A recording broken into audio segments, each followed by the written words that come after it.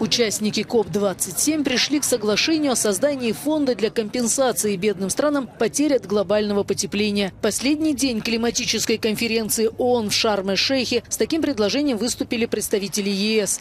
Вопрос об учреждении фонда десятилетиями откладывался под давлением ряда развитых государств. Но теперь ему дан ход. Вице-председатель Еврокомиссии Франс Тиммерманс в связи с этим заявил. Итак, давайте скажем об этом вместе. Министры и я лично ясно объяснили нашим партнерам, присутствующим здесь сегодня.